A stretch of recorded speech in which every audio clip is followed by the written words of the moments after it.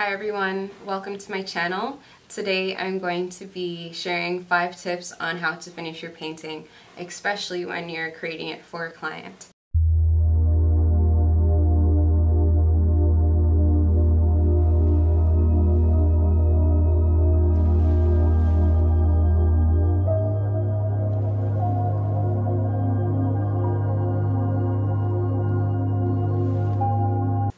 So for my first tip, I would suggest once you finish your painting, paint the sides of your canvas so that way it gives it a nice finished look. There are a couple ways that you can do this. You can paint the sides of your canvas all black or you can paint it with the same color of your actual painting, which is what I personally like to do.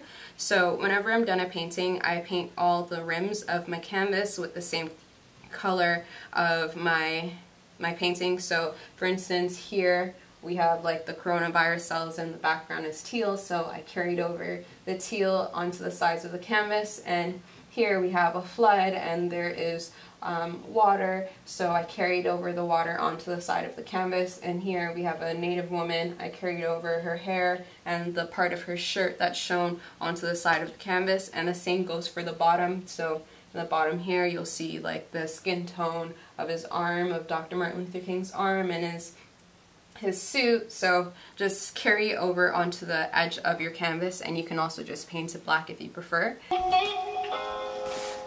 Don't you delete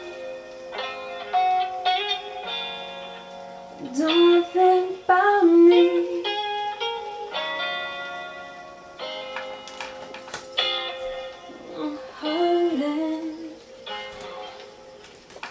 And for tip number two, so for tip number two, I like to varnish my canvas. So once you're done your painting and you've painted the sides, I would suggest to, to varnish your canvas. There are a couple different varnishes that you can use. You can use spray-on varnish or you can use pour-on varnish where you brush it on um, with a brush. I personally have just used spray-on varnish thus far. My favorite spray-on varnish for my paintings thus far is the Krylon varnish simply because it has a higher gloss.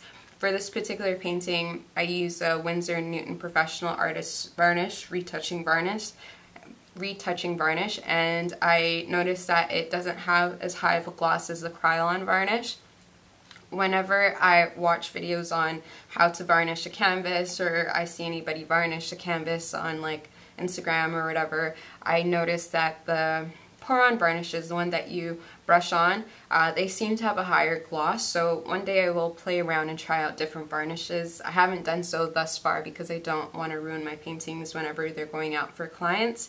And certain varnishes can make your painting a bit yellow. So just be mindful of that, especially if you're working with oil. Certain Dammar varnishes, spelled D-A-M-M-A-R, um, they may yellow your painting, so just read the label before you use it. And I will do a video just trying out different varnishes, even just for myself. I'll try out different varnishes one day on some paintings that aren't going out to clients and see what type of varnish I like thus far. But yeah, so Tip number two is just to varnish your canvas, either using a spray varnish or a varnish that you brush on.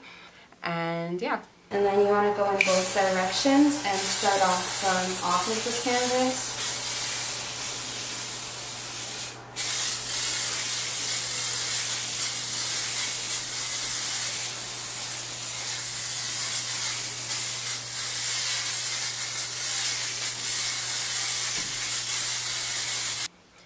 So for tip number three, I would suggest to wire the back of your canvas so this way your customer doesn't have to do it. It can be, mm, it's not necessarily a hassle for customers to do it, but it's a nice finishing touch, which is what this video is all about. Um, just to attach the wire so when they receive your painting, they literally can just hang it on your hang it on their wall.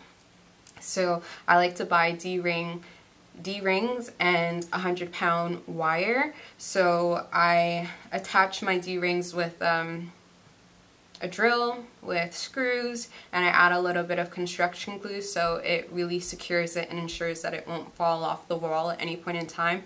And I like to like to use a 100 pound wire simply because it just guarantees that the wire won't break and cause the painting to fall off the wall, which is not cool for a client whatsoever. So yeah, just attach a wire to the back of your canvas. It, it will really help out the customer and I know that they truly appreciate it and it's something very simple and cheap that you can do that adds value to your canvas.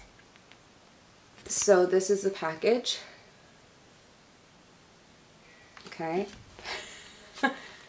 this is the package here.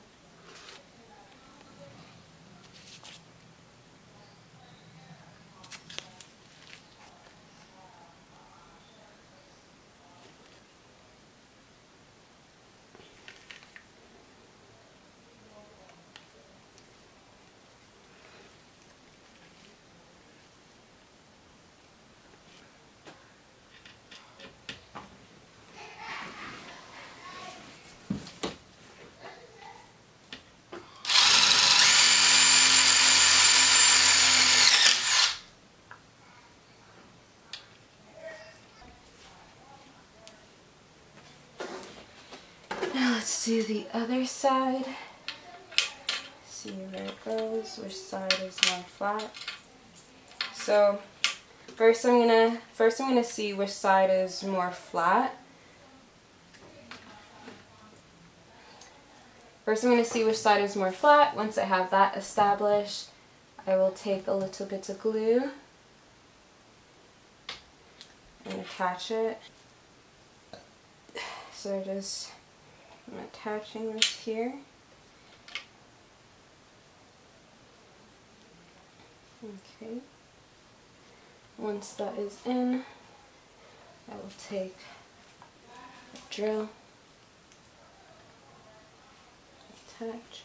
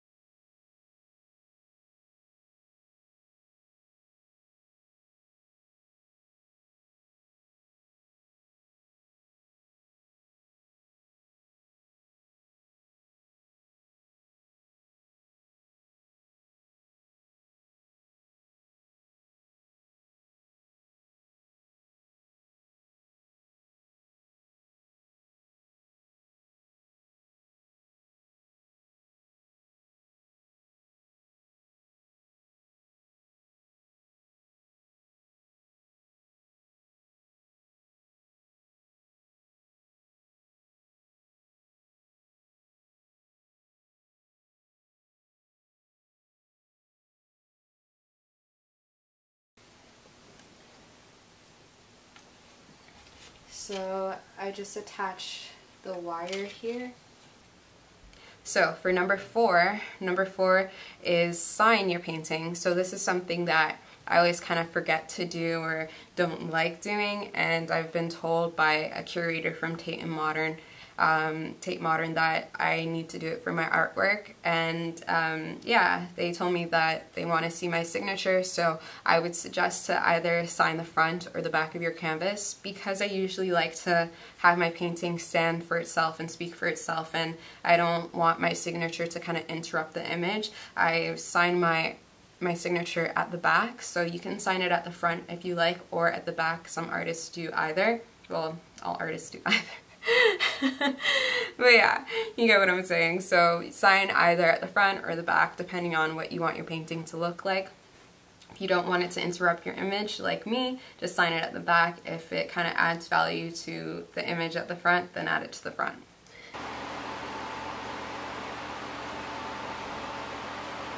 Okay.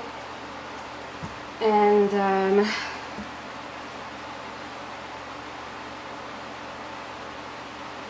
feel like I should put some hearts.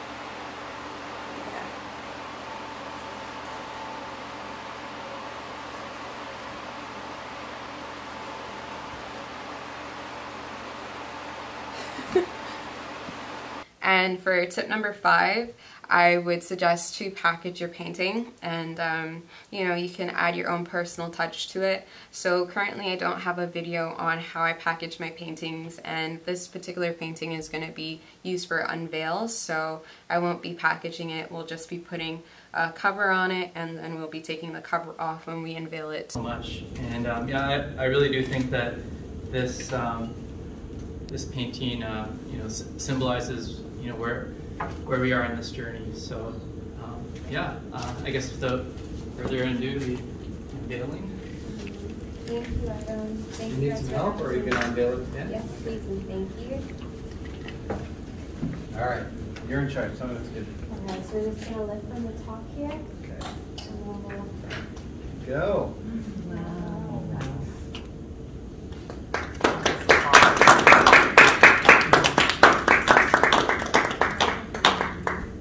So I'll make another video on how I package my artwork and in the meantime I'll also link a video of how to package your artwork in the description box below. This particular video is the one that I I initially watched when learning how to package my artwork, so it is very helpful and I would suggest to add your own personal touch and twist to it. I like to add a signature bow to my artwork, a signature black bow specifically and I also like to just add a personal note. So you can choose to do either. Just make sure it kind of you know adds your personality to your painting and these are my five tips on how to finish your painting especially when they're going out to a client I hope that this, these tips were helpful and if you want to see any videos on how to do any of these specifically just let me know or if there's anything that you want to see from me specifically regarding art just let me know and I will make a video on it.